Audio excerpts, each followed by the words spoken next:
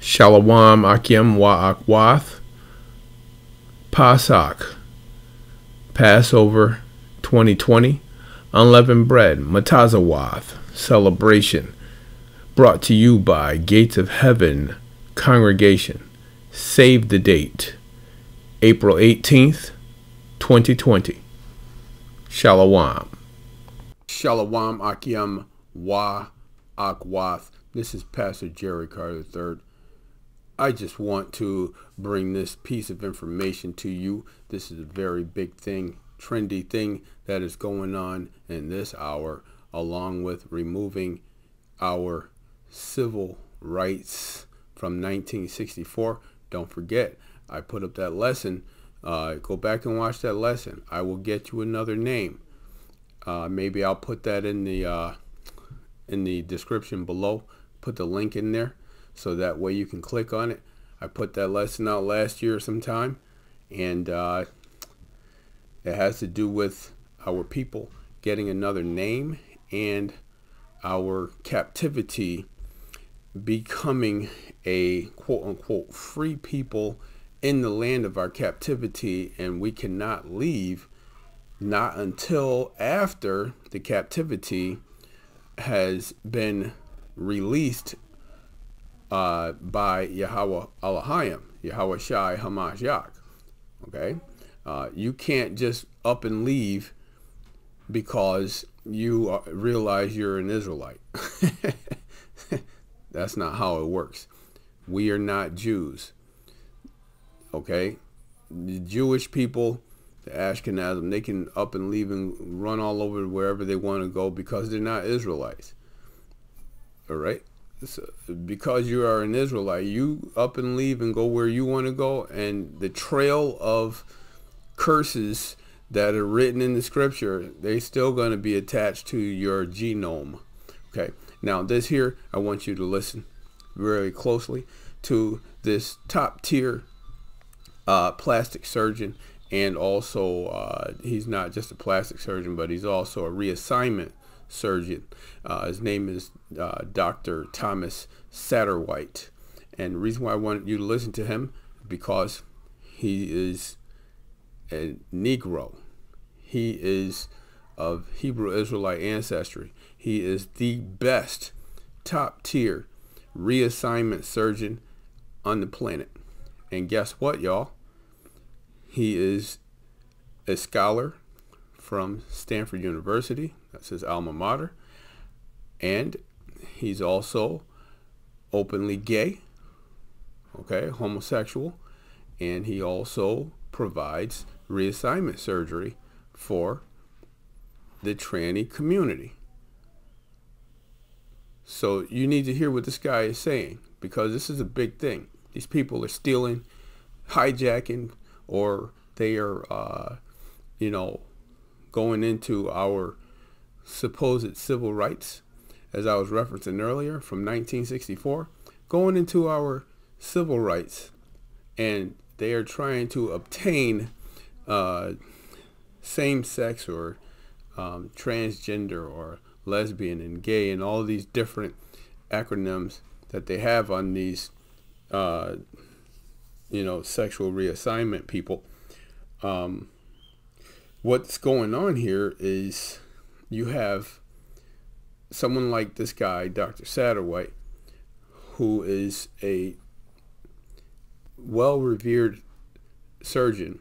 And the thing is, is, uh, you know, I have little no respect for people of this capacity that obtain elite scholarship, elite education, elite knowledge about the human body, and then they specialize in genetically modifying the human body taking the human body out of its original uh, um, natural state. So this, you're going to watch and learn. You're going to listen. The previous lesson, uh, video lesson I put up is very, very disgusting. But they are attacking civil rights. They're trying to take away our common rights as the quote-unquote black man, the black female, the Hebrew Israelite, children of Yahweh Elohim. Dr. Satterwhite, he's going to define vaginoplasty. Yeah. Listen up.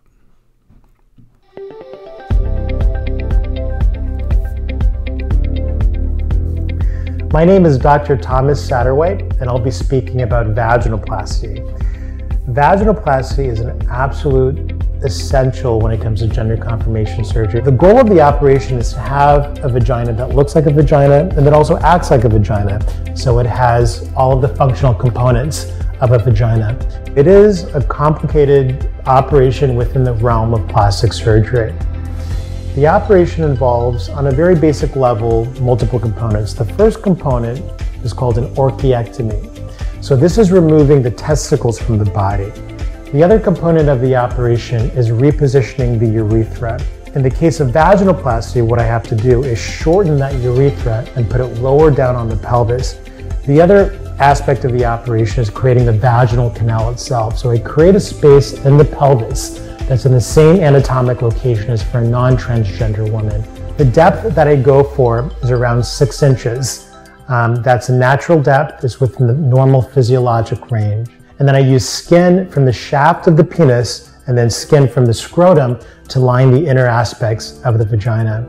So I take tissue from the tip of the penis, what's referred to as the glans, and then I make sure the nerve and the blood vessel are still attached. I reshape the glans into a clitoris and then I place it in the correct anatomic location on the pelvis. The last part of the operation is making everything look good. Majority of patients stay in the hospital or in the rehab facility for about three days after the operation. Once you leave the hospital, I do want you to stay here in the San Francisco area so I can keep a close eye on you. And that's typically going to be for about another four to five days. Afterwards, you'll come back to my office here in San Francisco. During that first post-operative visit, we start the process of dilation. I've created a space in the body that your body doesn't want. So it's going to do everything that it can to contract and close that space. So you have to do everything that you can as a patient to make sure that vagina stays open. So dilation is crucial. And once again, just like with all aspects of gender confirmation surgery, not every patient moves forward with vaginoplasty, but there are a good number of patients and trans women who do move forward with it because it is an important aspect. From an anecdotal standpoint, so many of my patients come back and they're truly thrilled uh, with having a new vagina. And for, for so many patients, they tell me, you know, I can't even remember having my prior genitalia. It feels like I have this all the time. This is the body that I was meant to have. Vaginoplasty is a very important, empowering operation for so many transgender women. Okay, there you have it. You have a Hebrew Israelite by blood, but a heathen by spiritual continuity. Okay? Just because you have primary Negro DNA in you, that doesn't mean you're not a heathen. Just because you're an Israelite. Okay? This is the problem that we have among us today, people these demons, we got to rebuke the spirit. We have to fast and pray. We have to really be serious and adamant about teaching our young boys to be men and teaching our young girls to grow up and become women. The word woman or women means you are a wife. We are supposed to teach our daughters to grow up to become wives and maintain themselves, keep themselves until such time. Okay, that is the reason why it's important to teach a child to become a wife at a youthful age. Okay, a youthful age. You can hear my kids in the background laughing and screaming and hollering. That's what kids are supposed to be doing. Okay, they're supposed to be enjoying life. They're not supposed to be worried about their genitalia and how they want to have it removed and reassigned and you know, come on, get out of here with that. Okay? And this uh, this nonsense that this guy is, these people are up to, and they're going into legal documents in this government, and they're taking the laws, they're taking these rights, civil rights that was given to Negroes, specifically for Negroes to be able to be a functioning human being in this American society. They're taking those rights and applying them to this LGBTQ community. Okay? Uh, I'll continue some more at another time. Shalom.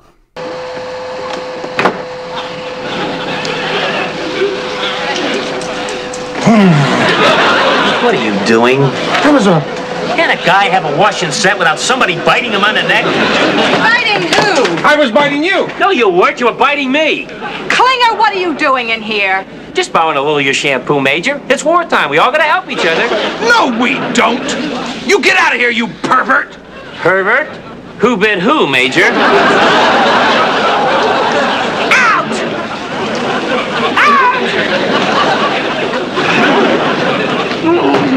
I've had enough of his shenanigans. I'm going to talk to Henry. I want that freak out of this outfit and out of the U.S. Army. Oh, Frank, you're so exciting when you get all riled up and decisive. I am.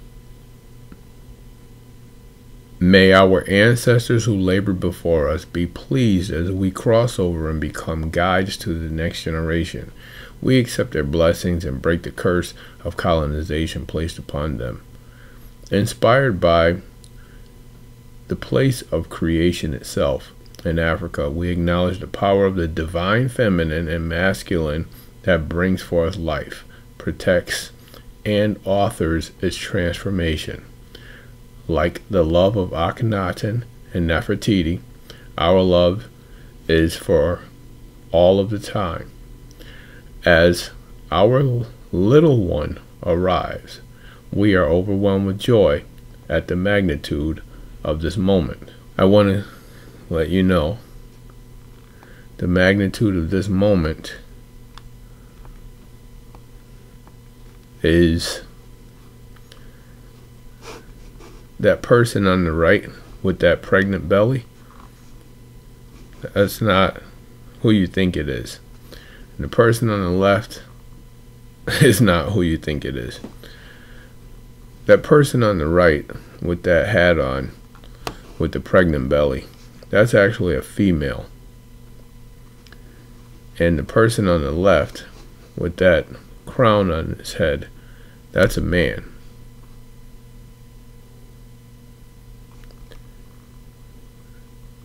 This just happened, you guys.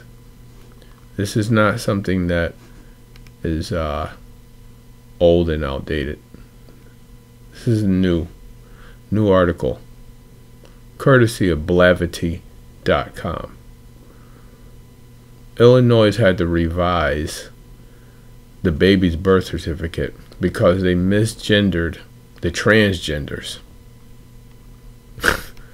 kind of craziness is this? Especially, these are some Negroes living as Gentile heathens because you're not a Hebrew Israelite as a transgender. That's not going to work according to the scripture. Boy, this is where we are in this hour, people. This is where we are in this hour. Got to stand against this nonsense. Here's a little piece of uh, some information that I want to reference with you so you will see that these prophecies about trying to convert our people from their youth, convert them from male to female or from female to male, the transgender agenda, it's already called out among our scripture. It's just that unfortunately we got Israel constantly, constantly fussing and fighting and bickering among Israel. I'm speaking in terms of conscious Israel. And then we have uh, unconscious Israel that are they, they carry on with so much nonsense all the time. You know, their platforms on their channels, not just on YouTube, but also on Instagram and Facebook and uh, BitChute. You know, their their platforms are just dedicated to the constant nonsense of you know, highlighting drama, highlighting ignorance, highlighting foolishness, highlighting perversions, highlighting, you know, uh, uh, murdering one another, uh, highlighting criminal behavior, you know, criminal behavior among our people Our people was doing that way before the police in this country, this American police system was put together, you know, by this government. Our, our people have been doing this stuff way back when our ancestors were living in Israel. Okay, our ancestors were already performing home invasions. Okay, uh, that's written in the scripture. Uh, we had tribes, you know, they were already fighting one another and holding folks hostage and all of that stuff. This is all written in our ancient scripture. The problem we have is we don't have enough of our uh, ministerial akim, the so-called mores, the so-called uh, prophets, nabium, the so-called uh, um, you know teachers of the script, the Torah teachers, the uh, you know ministers. You know it's it's sad. It's really sad. You you're you're you're aware you're an Israelite. You know you're a Hebrew. You know that you are the chosen seed of Yahweh Elohim. And instead of you dedicating your platform to continually uplifting our people and exposing all the nonsense that's out there that's destroying our people and and bringing the the, the rod of correction in, you rather, you know, attack another man's wife. You rather attack, uh, you know, your own people in the street spitting in your own females' faces and you know trampling over the children and and then you know you want to be holy on the on the Sabbath, right?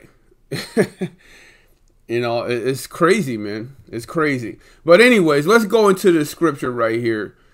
You know we're we're in the book of Joel, and you, you're gonna see this highlighted very very strong here.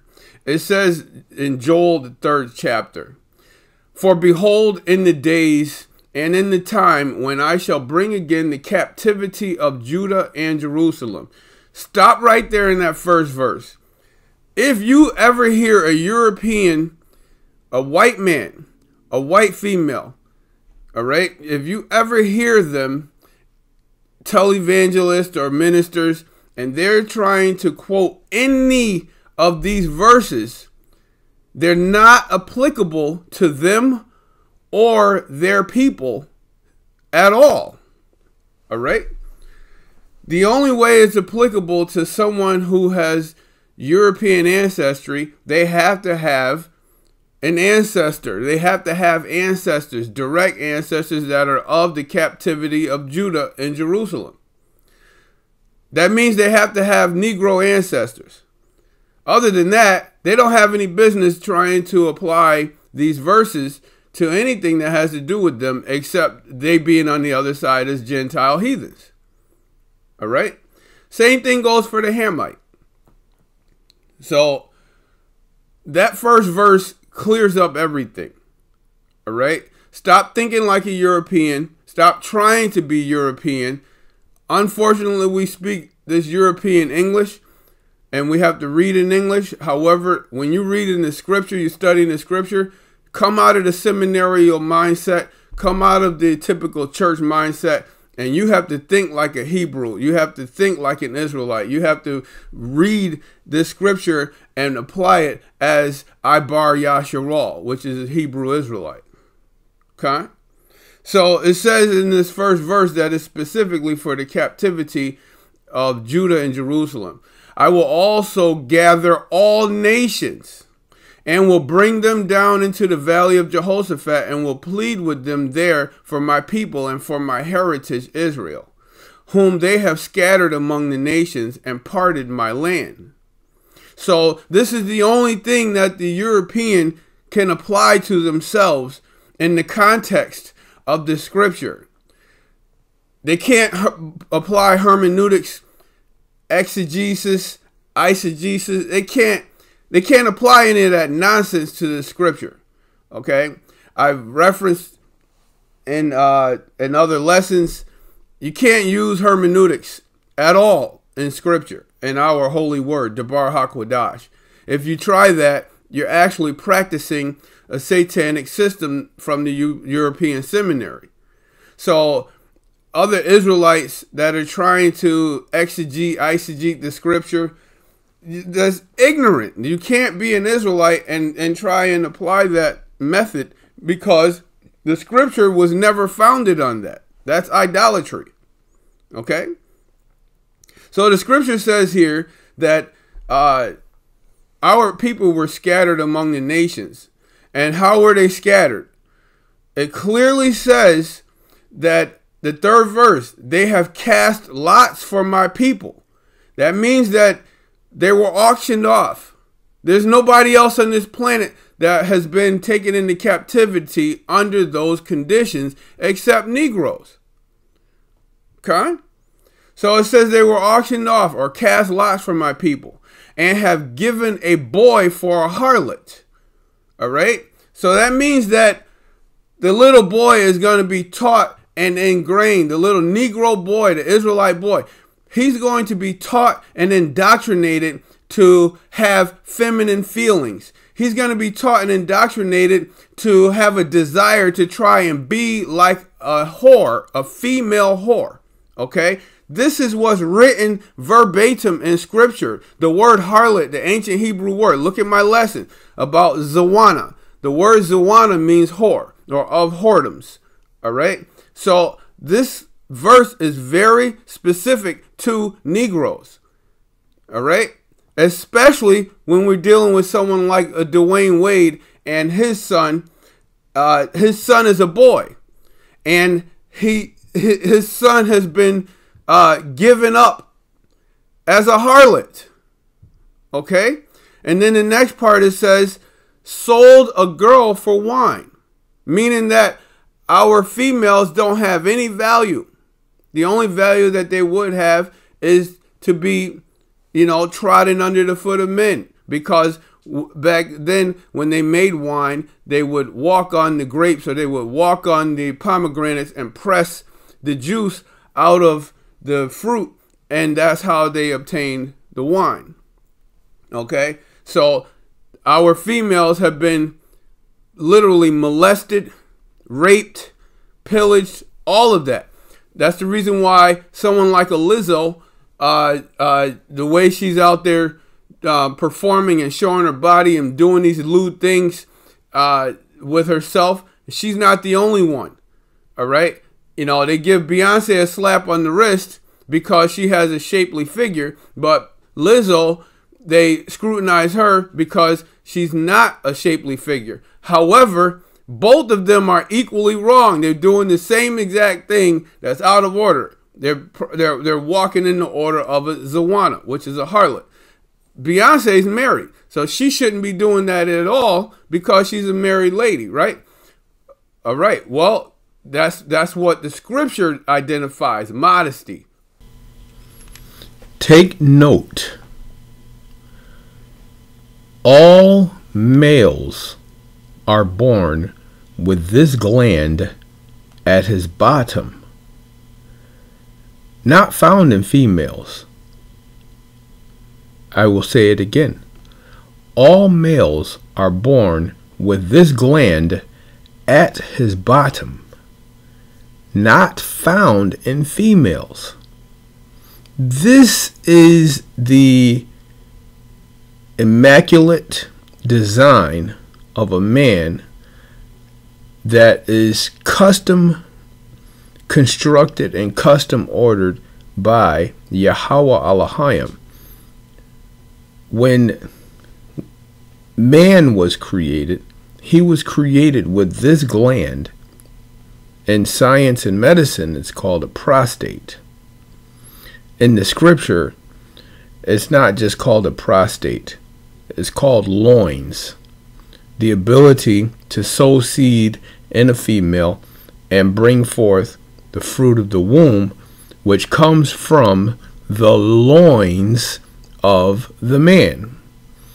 This organ right here, this gland, is the actual small walnut shaped object that is called a prostate. That small organ only in men. Near the bladder, it produces a liquid in which the sperm is carried. So it is not possible that you find this in a female because a female does not carry procreative fluids. A female receives procreative fluids. Only men can produce procreative fluids. Okay? This is defined in your lexico.com Oxford Dictionary according to prostate. I want you to really understand this because this transgender, transhumanism, uh, gender confusion, gender reassignments, you are demon possessed.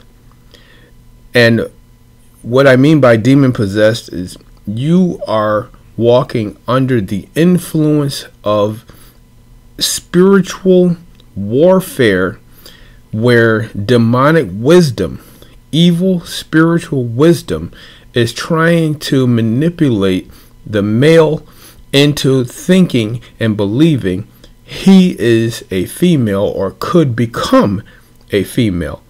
That will never, ever happen. You were created by Yahweh, our Father, Ruach HaKodesh, His Holy Spirit, and Yahweh Shai Hamashiach, Jesus Christ. They created the man in the image of Yahweh Elohim. And also, we have his likeness. When you try to remove this organ or this gland from the man, and it's not contaminated, it's not infected, it's not diseased, and you remove this gland and you try to gain or obtain vaginoplasty, you try to become a female, you are actually in physical blasphemy as well as spiritual blasphemy because you are contaminating or destroying the temple that was given to you that you had no control over to decide whether or not you were a female or a male. You were born a man, you will die a man. And what will happen is when judgment happens or judgment comes after death, okay? When Yahweh Shai returns, it's judgment. And when his judgment comes, and you have removed this prostate gland from in your body, he's going to question you. Who do you think you are to take what I have created you to be? I created you to be a man. And you have the nerve to try and have some some surgeon go inside of your body and remove your manhood. Who do you think you are? That is the reason why right now 75% and it's growing 75% of transgenders they go into psychological and mental breakdowns and they also try to go back into their original status which was a man or which was a female they they decide after they go through all of this nonsense of destroying the temple, the body that was given to them, they change their mind and all of a sudden they want to go back to the original person that they were born to be. So, I want you to take note, especially those of you you have children that have zero ability to decide how to be a man, to decide how to be a female you are standing over those children and you are encouraging that boy to try and be a female. And you want to call him a she or you're encouraging that little girl to want to be a boy and you're calling him a he or calling her a he. It is an abomination and it is wrong because you are destroying the temple that you were given at creation. You was created with this temple you're supposed to protect it. And if you don't protect it and you're invading it, you're causing all kind of contamination and removing parts of it. It's not like you, you have cancer, prostate cancer. It's not like you have uh, ovarian cancer and you need to have these things removed in order to prevent yourself from losing or uh, or leaving this world prematurely. No, no. We're talking about people that are intentionally trying to reassign their gender. You know you are an abomination and you are being rebuked right now according to the scripture. According to the scripture, we are supposed to rebuke the spirit. I teach this information and show this content in our temple, in our Shabbat services, because our people, our congregation, they must know these are the hidden things, the hidden agenda of this beast system of how this spiritual warfare takes place to destroy our people. So, yes, this is a rebuke. Hi, I'm Dr. Bukowski with Planned Parenthood. In addition to services for women, we offer many services for men, including vasectomy. Vasectomy is an effective, convenient, permanent birth control. It takes the stress of preventing pregnancy off of your partner and can make your sex life better and more spontaneous. Vasectomy is a simple, safe, outpatient surgery. The small tubes in your scrotum that carry sperm are cut or blocked off, so sperm can't leave your body and cause a pregnancy. Vasectomy will not affect your enjoyment or desire for sex, nor will it affect the quality or amount of your ejaculate. The procedure is quick and its success rate is nearly 100%. Vasectomies are meant to be permanent, so they usually cannot be reversed. You should only get a vasectomy if you're positive you don't want to be able to get someone pregnant for the rest of your life. If you're thinking about having a vasectomy, contact your nearest Planned Parenthood Health Center, and we can help. Thanks for listening, and stay safe. My name is Dr. Anthony Levatino. I'm a practicing obstetrician gynecologist, and I've performed over 1,200 abortions. You've taken, shed innocent blood after performing 1,200 abortions, after profiting hundreds of thousands and possibly millions of dollars by blood sacrificing unborn babies. All of a sudden, it's time to become the moral voice in the room. Definition of abortion, according to Oxford Learner's Dictionary. Abortion, the deliberate ending of a pregnancy at an early stage, a medical procedure to end a pregnancy so that the baby is not born alive. According to the Oxford Medical Dictionary, an induced abortion, termination of pregnancy, the removal of an embryo or fetus from the uterus. This is just another reference to help one to understand it is not possible for a man to germinate seed within his body and bring forth a child, whether it be born live or born without life, or whether it be terminated by induced termination from a OBGYN or by some other force of removing the baby from the individual. This cannot be done to a man.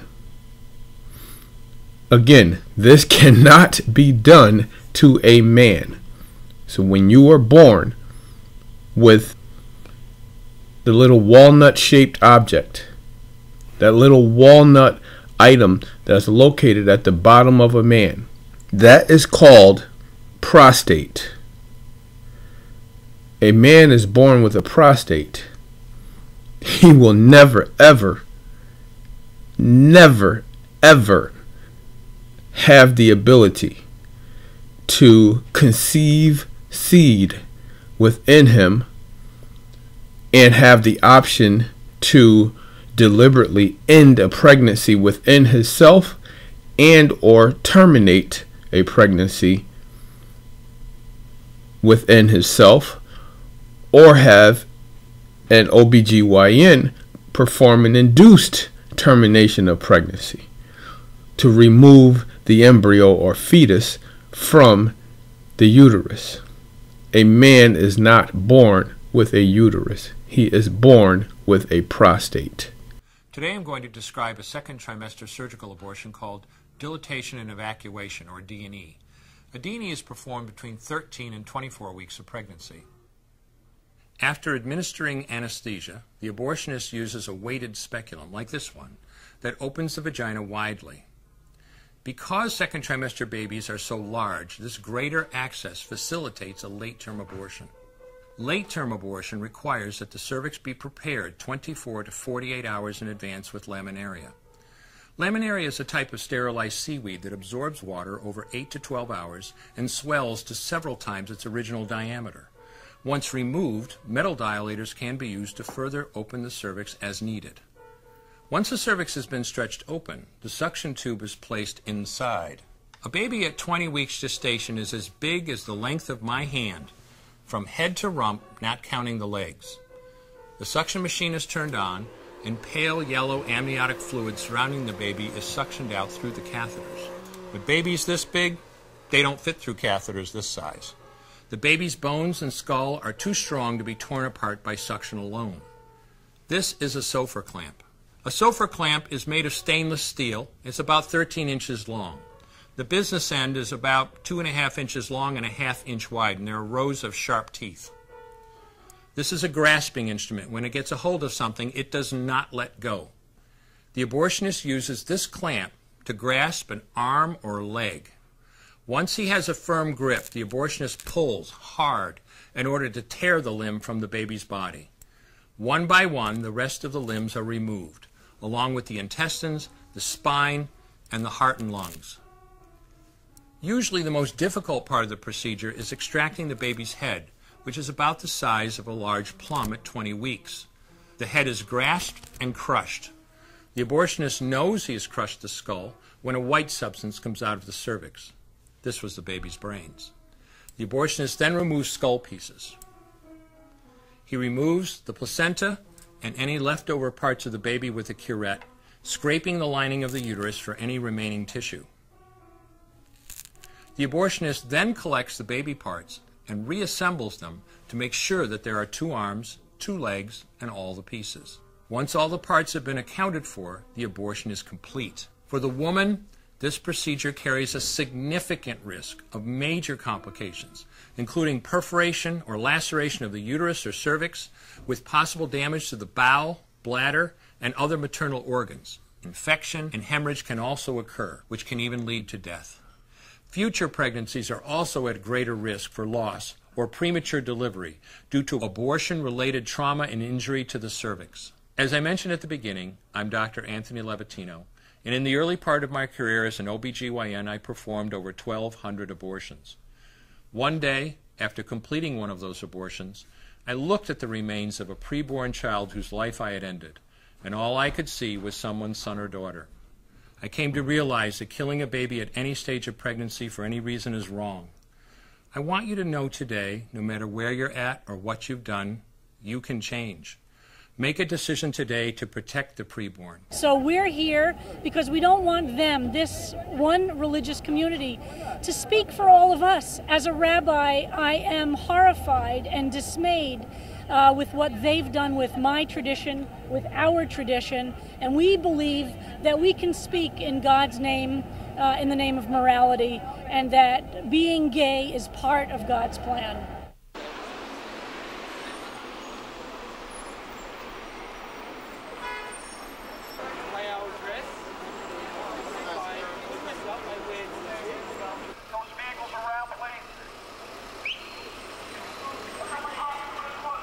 The other aspect here is understanding that you know um, it just so happened that this this Jewish agenda is pushing this uh, this perversion uh, to embarrass or bring shame to the so-called black community or the hood community.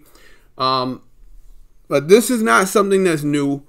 This has been going on a long time. No one, I can't say no one, but there's not no there's, no one's pulling Kanye West card and and and calling him out because he's married to a Zawana, a harlot.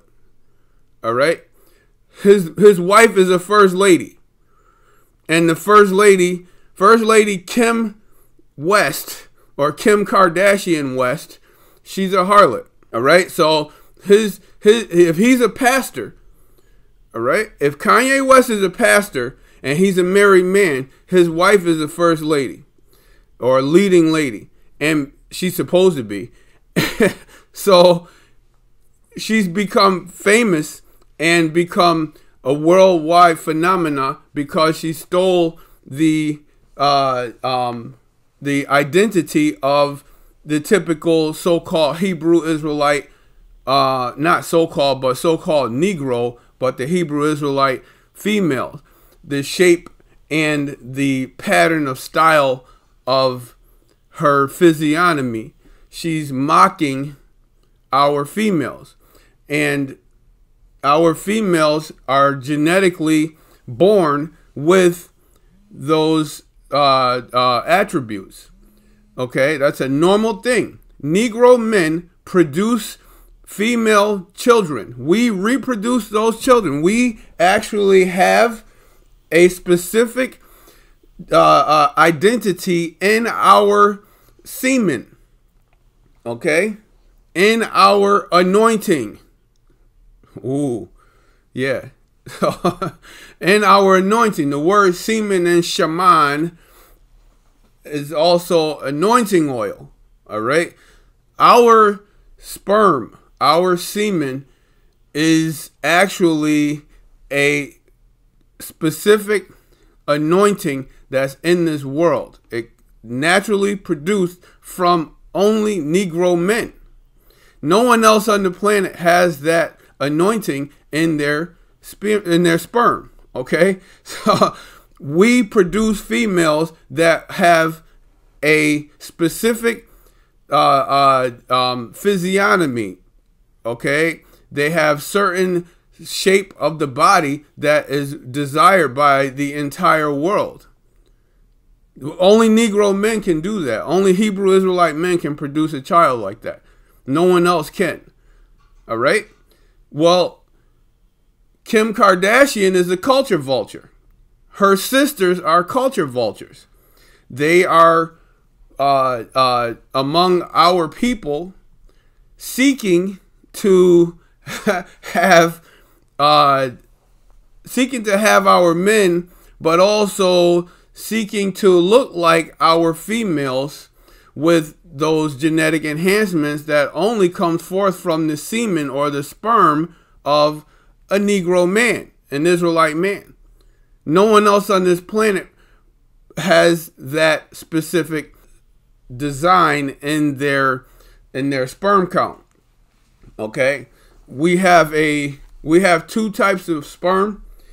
Uh one type of sperm is one type of sperm is a slower sperm which produces girls.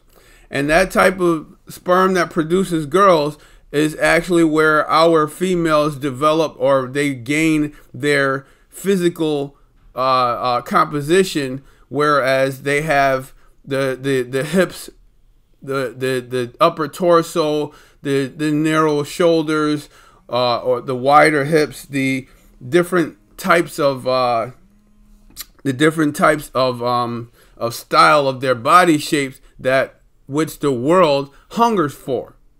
Okay, that only comes from us. All right, a Hebrew Israelite man, a Negro man. He's he is that guy that has that slow sperm that designs a female that way. Uh, uh, uh, with men. When we reproduce males, we are supposed to be reproducing alpha males, which are leading men. When we have a boy, we're not supposed to be reproducing boys by mistake. We're not supposed to be reproducing boys because it just so happened. you know, when you study the scripture the right way, you'll see that males, the men that were born among our people. This is the this is the misunderstanding about birthdays.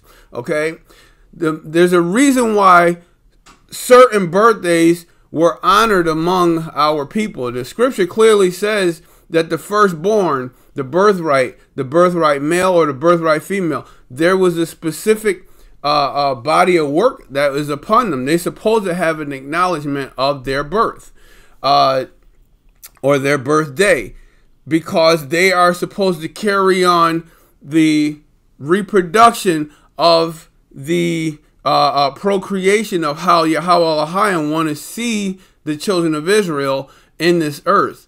All right. He doesn't want to see us as a washed up seed or our seed has become so degenerated that no one can identify us anymore. Because in this chapter, Joel, the third chapter, it says the same thing. All right. It says that there's blood among us that has to be cleansed because the enemy contaminated the blood of our people. None of us are 100% Israelite anymore. So that's a problem, especially over here in this so-called Western world. That's that's a big problem. So I want you to understand in this verse, in these verses, is very important about Hebrew Israelite people, Negroes. You got to look among these culture vultures, look among these people that are actually trying to extrapolate our male seed, that alpha male seed, all right, that dominant seed, and they want to convert him as a young man, a young boy. They want to convert him into a transgender. So this next verse, the fourth verse, it says, Yea, and what have you to do with me, O Tyre and Zidon, and all the coasts of Palestine? Will you render me a recompense? Are you going to pay me back for what you've done to my people? And if you pay me back, swiftly and speedily will I return your compensation upon your own head. That's what Yahweh Elohim is saying to the Gentile heathen. Because you have taken my silver and my gold and have carried into your temples my goodly pleasant things. The children also of Judah and the children of Jerusalem you sold to the Grecians. You sold them to other heathens, that you might remove them far from their border. Behold, I will raise them out of the place whether you have sold them, and will return your payment, your recompensation, upon your own head and I will sell your sons and your daughters into the hand of the children of Judah. And they shall sell them to the Sabaeans, to a people far off, for Yahweh has spoken it. I hope y'all got that understanding right there. We there's a time where we are going to take the captives okay the people that were holding us captives we're going to take captives all right, we're going to take them as our captives. And then we will have the opportunity to do what we want to do with them. And because we are not that type of people to be uh, heathenistic, all right, we we, we don't do things like that. But the scripture says that we will have them, the Gentile heathen, as our captives. So why are you trying to run to another country and you're not supposed to? You're supposed to wait and let them become converted into your captives. So the next verse says, Proclaim among the Gentiles, among the nations, prepare war, wake up the mighty men, let all the men of war draw near, and let them come up. Tenth verse, beat your plowshares into swords, and your pruning hooks into spears. Let the weak say, I am strong. Assemble yourselves, and come all you heathens, and gather yourselves together round about. Thither cause my mighty ones. This is all because my mighty ones, all right, they go, they're uh, the, the the mighty ones or the Gabarium, all right, the mighty ones are actually our guardian angels, or they are the heavenly host okay? The host or the what we uh, describe as you know an angel is watching over me. Uh, th- that's written in the scripture. You see it right here. Assemble yourselves, come all the heathens, and gather yourselves round about, because my mighty ones, thy mighty ones to come down. Cause my mighty ones to come down, O Yahweh. All right. So, you know, the uh, Tezabawath, Tezabawath is the mighty army of Yahweh Elohim. So he's going to cause the mighty ones, all right, the angels, the guardian angels to come down, all right, but it's only after these heathens gather themselves together. What does that mean? What you see happening right now with Iran, Iraq, the U.S., Russia, uh, um, all these other uh, heathen countries, you know, these are all European Gentile heathens, white European Gentile heathens that are coming together for this great battle that's in that's going to take place in Israel. All right, including the Ashkenazim, they're already there. Uh, they are actually the ringleaders of of this uh, uh, um, great uh, Armageddon or this, these great wars that's about to take place. Scripture says the end is not yet, but this is going to bring about the end. All right. So all of this stuff has to take place before we actually take them as our captives. They have to destroy one another to such an extreme that they have to come to us and, and, and bow down to the authority of Yahweh Elohim that's in us. So how in the world can a Gentile heathen man, Gentile heathen female, how can they bow down to our authority and our authority is a bunch of transgender Negroes? All right? Men that converted to become females, females that converted to become men. That doesn't work, and it's not going to work because Yahweh Elohim didn't create a man to be a female or a female to be a man. That's not what he created. All right? So keep this in mind. Keep this in mind. The next verse, he says, Let the heathen be awakened and come up to the valley of Jehoshaphat, for they uh, for there will I sit to judge all the heathen round about. All right, the judgment of Yahweh upon the heathen is to force them to use their own sword, their own weapons. All right, to force them to use their own devices of destruction against one another. Sounds familiar? So he says, Put you to sickle, for the harvest is ripe. Come, get you down, for the press is full. The fats overflow, for their wickedness is great. Whose wickedness is great? The Gentile heathen wickedness is great. All right? We have our own wickedness that we had to account for and face the judgment. But this Gentile heathen wickedness is at a whole different level. Whole different level. That's why they have to come together and destroy one another first. All right, it's part of the initiation of the judgment. Multitudes, the 14th verse. Multitudes, multitudes in the valley of decision. For the day of Yahweh is near in the valley of decision. All right, this is getting ready to take place. He said, The sun and the moon shall be darkened, and the stars shall withdraw their shining.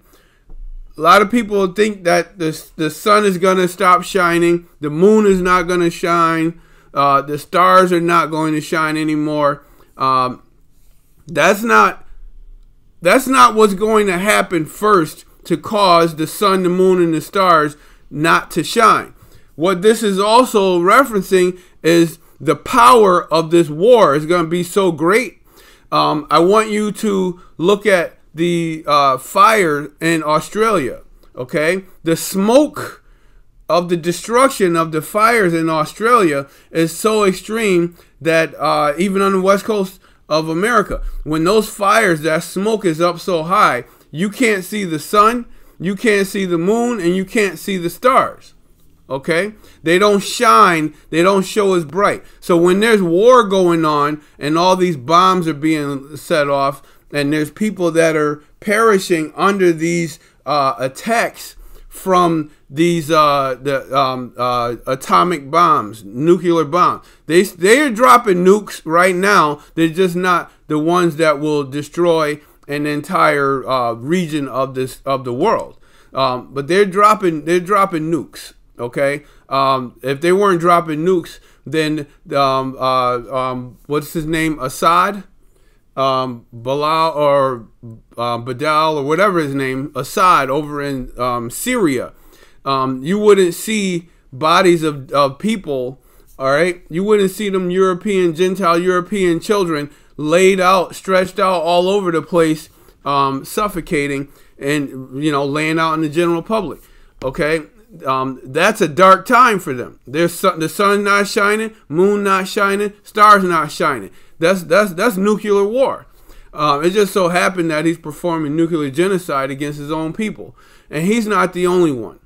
Okay, he's not the only one. There's many of them. All right, next verse. Yahweh also shall roar out of Zion, and utter his voice from Jerusalem, and the heavens and the earth shall shake but Yahweh will be the hope of his people and the strength of the children of Israel. All right? That where he says that he's the hope of his people, his people are every it doesn't matter what racial background you come from or what tribe you come from. If you stop your wickedness and repent, you will become one of the people of Yahweh Elohim. But but I'm using that word, but but there is another aspect at the back end of this. He says the strength, all right, Yahweh Elohim is the strength of the children of Israel. So the children of Israel, Hebrew Israelites, we have a specific place in the eyes and in the heart of Yahweh Elohim. We're not just the hope of his people, we are the strength. Okay? We are the strength that is held within him. The reason why the people of this world actually have uh, a desire to get up every day and to go and challenge life every day is because of us.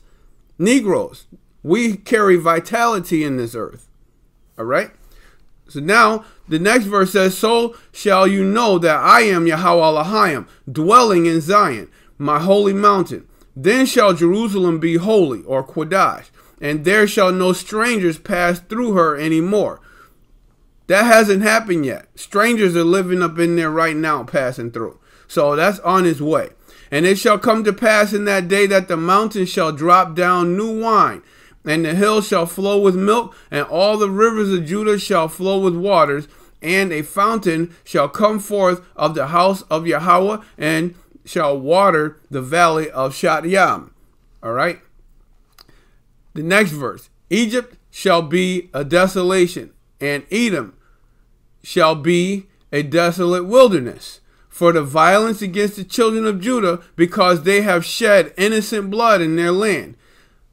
You thinking that Egypt is that little piece of land on the on the top right corner of northeast Africa and that's not all northeast Africa.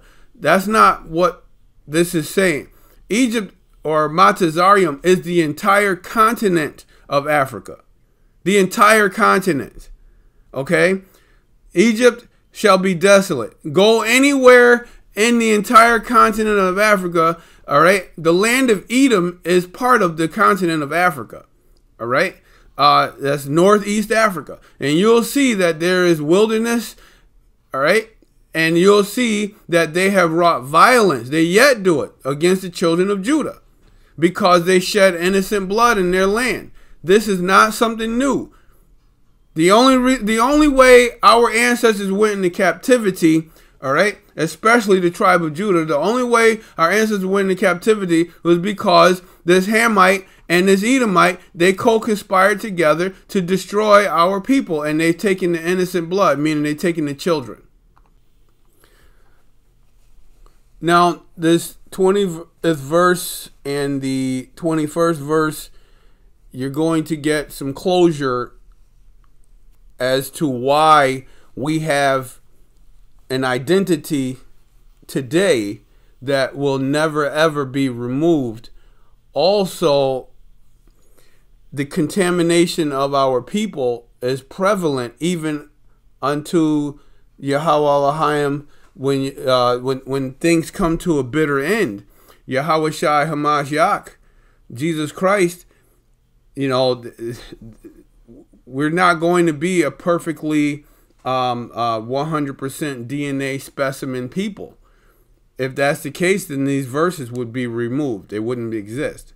So the 20th verse says, But Judah shall dwell forever, and Jerusalem from generation to generation. What that means is we will be in kingdom authority. Right now, you see kingdom authority under the auspices of this Gentile heathen beast system. The Gentile heathen beast system is the U.S. government, the British royal crown, the uh, the French prime minister, the Italian prime ministers, the Russian czar system, all right, or their prime minister, all of these European beast brands, okay? These are horns that come out of this beast. Even India, all right, the Far East, India, that is a beast. They're holding our people captives on the east side. Also in Australia, the so called land down under those European beasts, they came from northern or they came from the north as the scripture says and they went into other lands and they destroyed the blood of these people that was not at war with them they went in and invaded their land this gentile heathen beast called germany all the civil wars and religious wars that they had among one another and all of a sudden they have the world religions in hand. They also have the world auto industry in hand. They have all of these big uh, uh, movements, Gentile heathen beast movements. Okay. I want y'all to get this understanding as well. You know, this whole thing about anti Semitism uh, with these Jewish Ashkenazim that's all a ploy. It's all a marketing scam. It's all called provocation. The reason why you have Hebrew Israelites, the so called Negroes, that are attacking these people is because these people literally provoked our people. Okay? The Jewish Ashkenazim system is a thorn in the flesh of Hebrew Israelites, Negroes. Every move we make as a people, they have their hands on every penny that our people make. All right? Some way, somehow, they have their hands in it. Anything that's on the world stage that has to do with Negroes, Hebrew Israelites becoming or doing anything in progression, these people, this Jewish Ashkenazim system, they have their hands in on it. They are the biggest thorn in the flesh of Negroes. All right? Civil rights, 1964, which is the topic of this discussion, 1964 civil rights. It's the Jewish Ashkenazim that sends these transgenders, these homosexuals, the lesbian agenda. It's them that is behind trying to absorb Negro civil rights into homosexual rights, transgender rights, lesbian rights, gays, queers, all right, uh, uh, um, gender fluidity, all of these people that are trying to become part of this non-gender conforming or gender reaffirming system, the Jewish Ashkenazim is behind this. They're the brains behind this operation, and it's them that is trying to completely remove the identity of our people or anything that comes as a benefit to our people. They are actually trying to hijack it or steal it or absorb it.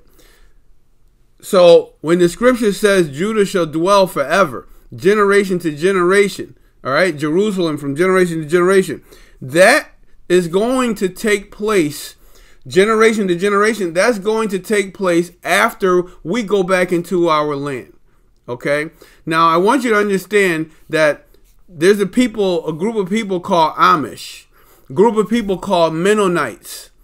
These people are the genetic family members of the Jewish Ashkenazim. Okay?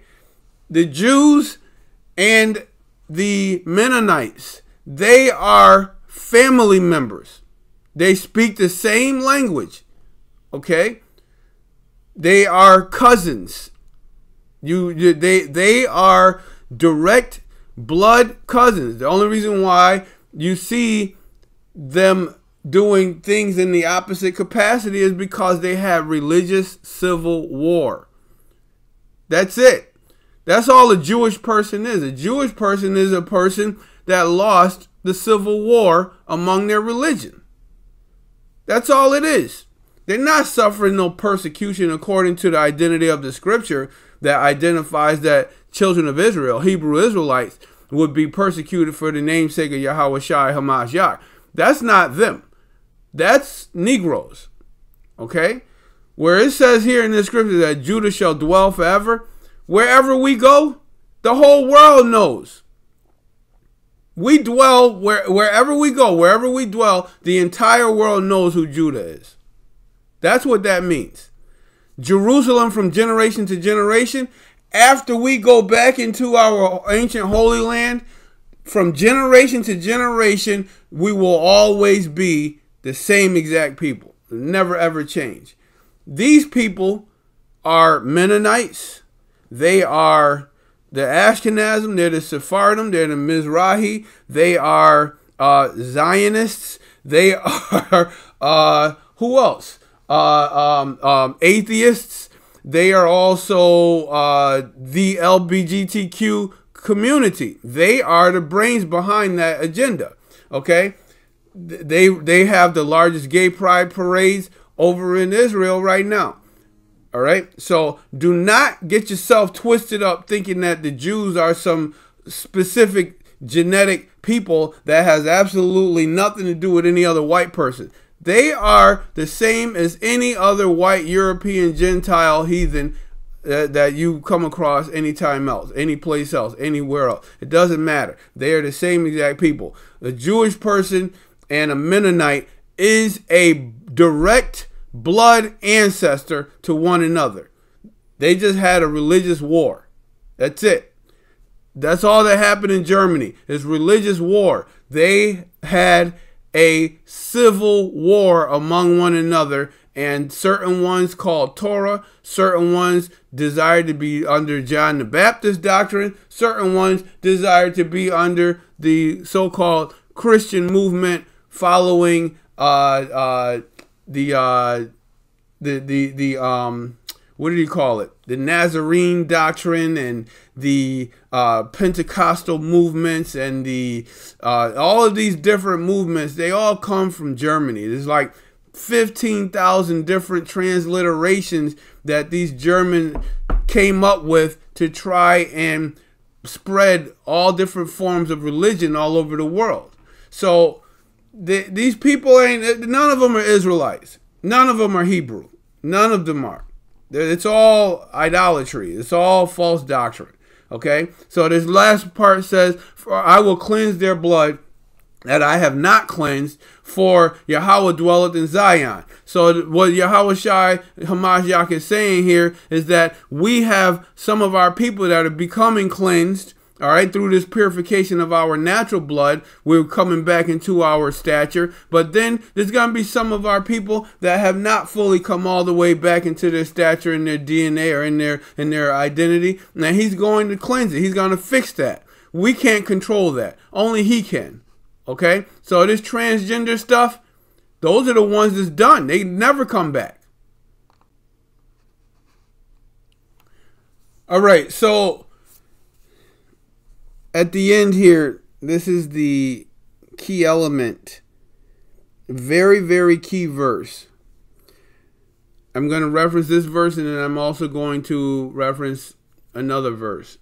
This is something that we learned as children growing up, going to church on Sunday in Sunday school. You learn this verse, you memorize this verse, and you get understanding.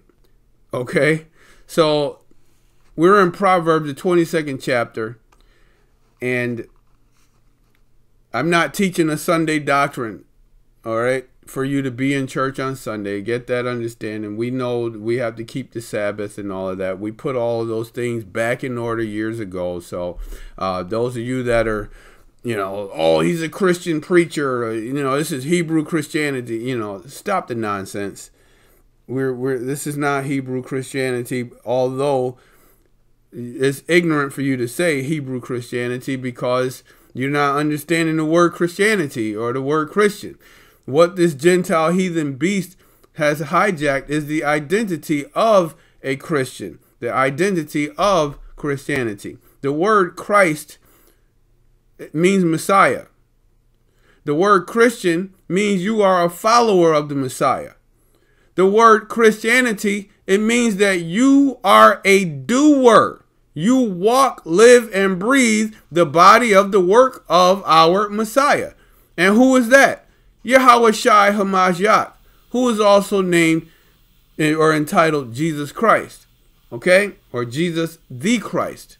Yahweh Shai HaMashiach. Ha means the, Mashiach means Messiah or the anointed one. And Yahweh Shai is also Jesus or Joshua, or they say Yahoshua, all right, or Yeshua. So I want you to get this understanding. what you see as Christian doctrine today that they call Christianity, that's an identity theft. That's the same as the Jews, all right, stealing our identity according to the Torah as being Hebrew Israelites. All right? It's the same exact thing. Uh, you know, I'm, I'm not following I'm not following Judaism. Judaism is the doctrine of the Edomite. Okay? Judaism is the doctrine of Esau. It's the doctrine of the Edomite. Those of you that don't understand that, that's your own fault. You go in the scripture and read the scripture for yourself. Esau, he despised Yahweh Elohim. He despised his birthright. Okay? Jacob obtained Esau's birthright. So therefore, when Jacob obtained Esau's birthright, he didn't obtain his birthright because he paid for it. He obtained the birthright because Esau hated his birthright. And his birthright consisted of upkeep of our laws, statutes, and commandments. Y'all got it? So Esau had a system of how he went against the law, statutes, and commandments by using the law, statutes, and commandments. All right? Let's go to this verse here. The scripture says in Proverbs, the 22nd chapter, in the 6th verse, it says, Train up a child in the way it should go, and when he is old, he will not depart from it. So, that verse is very, very important. If you have a 7, 8, 9, 10 year old boy, and you are not training that boy to be a man, you are not teaching him structure and discipline and manhood. You're not giving him the this the the uh, the opportunity to play and live life as becoming a man. One day he will become a man. You are actually not training that child in the way he should go. You're training him contrary to the way he should go. Con? Let me pull up this next verse for you. All right? Because we have a problem among Israel, among Negroes. You know, I keep referencing Dwyane Wade, and uh, the reason why I keep referencing Dwyane Wade is because it's a disappointment. His his uh his embarrassment, all right, among Israelites as a quote unquote hood or black community. Um, it's a shame. All right? Because that means you you don't have the strength in you or the self-will, the tenacity in you, all that manhood you put out on the basketball court. I don't have a problem telling these Negroes this information. You understand me, y'all? I don't have a problem just you know giving the same information to them face to face. I'm not intimidated by their career. Okay? or the money that they have. I don't have a problem telling D- uh, Wade that all that energy of manhood that he put in that basketball court, and he has a son that's trying to be a girl or think he's a girl. What what happened to taking that energy off of that basketball court and telling your boy, "Yo, th- th- no, no, no, th- you're a man. You have certain organs in you. You have a, a structure in you that you'll never be able to be a female. So get that out of your mind. I'm going to cast them demons out. Whoever been trying to t- teach my son how to be a girl, I want to know who it is. And whoever this person is, I'm going to get that person out of my son's life. You see, this is the this is the authority of an alpha male. You're supposed to stand structure over your son. You are the manhood over your son until his manhood maturates so he can have his protect his own manhood. This is the same thing that Magic Johnson son did. Okay? This isn't something new. This is not something that just came about out of nowhere. All right? This misogyny has been taking place for a very long time. The doctrine of trying to embrace our children or bring them into this perversion has been going on for a very, very long time. Now, this next chapter, the next book is Ephesians, the sixth chapter. It goes right along with Proverbs, the 22nd chapter and the sixth verse. It says, Children, obey your parents in Yahweh, for this is right. Honor your father and your mother, which is the first commandment with promise, that it may be well with you and that you may live long on the earth. All right? And it says, Fathers, provoke not your children to wrath, but bring them up in the nurture and admonition of Yahweh Elohim. Get the understanding. All right? Get the understanding that Dwyane Wade, you are provoking your son to wrath. Because one day he's going to wake up and realize that he's not supposed to be trying to be some girl. He's not supposed to be trying to be some female and, and think he can get pregnant and have children. Okay? He's supposed to be in the nurture and the admonition of Yahweh Elohim. You have the nurture and admonition of Yahweh Elohim. This, this, this is so important this day and this hour. You see, we, we have such a problem with understanding these verses we got people, conscious Hebrew Israelite brothers, that intentionally won't even read these verses because they, they don't have the comprehension or don't have the revelation of understanding how to separate these verses the right way. So instead of them identifying the verse, quoting it, praying, fasting, and, and dedicating to Yahweh Shai Hamashiach to get the better understanding through Ruach HaKodesh, the Holy Spirit, Instead of that, they rather just omit the verse and say the New Testament is contaminated or the New Testament has been, uh, uh, um, uh, you know, has been tampered with. Listen, get the understanding. This verse is written like this because Apostle Paul was already looking at our people. This he's not writing to Gentile heathens all over the world primary. He's writing to Gentile heathens all over the world secondary. This is primary to Hebrew Israelites, his own people, that were taken into captivity and they were suffering. They were suffering because they were rebelling. Okay? This is exactly what happened to our people right now. They're suffering. Our people were suffering because they rebelled against captivity. They rebelled against being in servitude. All right. Don't forget, we were just reading earlier in the book of Joel that these people that held our people in captivity, the chains are going to be reversed. The bondage, the captivity is going to be reversed. They're going to be our servants before your very eyes. Not going to be our servants in some artificial world to come. Okay? there's no such thing as you got to wait until there's no more life to live and then all of a sudden captivity is going to change and those people are going to be your servants. No, no, no. This transition is going to take place before your eyes while you're here. And then in the world to come, you're going to be able to see it manifest more abundantly. Okay? Get the understanding, Israelites. Get the understanding, Gentile heathens. You do not have authority to teach the scripture. You don't even know what you're talking about.